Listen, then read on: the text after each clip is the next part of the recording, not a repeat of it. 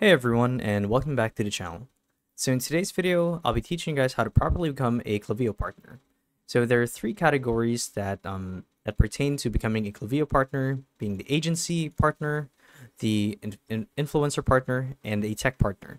So I'll be teaching you guys um, the steps on how to do this and apply for a partnership with their platform. So without further ado, let's dive right in. So the first thing you guys need to do is you want to make sure that you have a Klaviyo account and assuming that you've signed up already and you have an account going, you have your domains connected to Klaviyo and so on, you'd want to go to this website right here. So it's klaviyo.com slash partners slash become hyphen a hyphen partner. And it'll take you to this page here where you'll basically be appealing and submitting an application to become their partner. So they just want to do a background check on your credentials to see if they check out, as well as whether you're eligible to become a partner with Klaviyo. So um, if you guys are uh, well versed or profic proficient in this field, then definitely become a partner with them, and you would want to click on this link right here.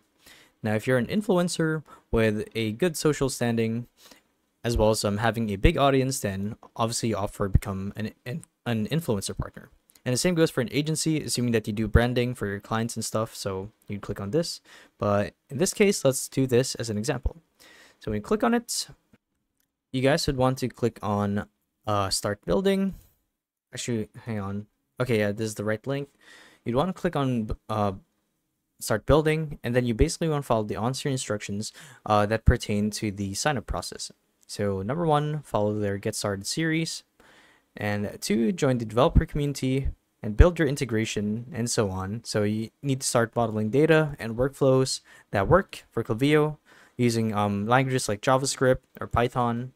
So those are a couple of things that you guys can do. So basically just visit these links to apply for uh, becoming a tech partner with Klaviyo. So here, what you need to do to get started is create an account, generate a data sample, um, install a library, obtain API credentials, and so on. And assuming that you, uh, Klaviyo likes your stuff, uh, they will take you in as a partner. And that's honestly it. So yeah, um, hopefully this video helped you guys out, and if it did, be sure to let us know down in the comment section below. And yeah, thank you all for watching. We'll see you in the next one. Bye-bye.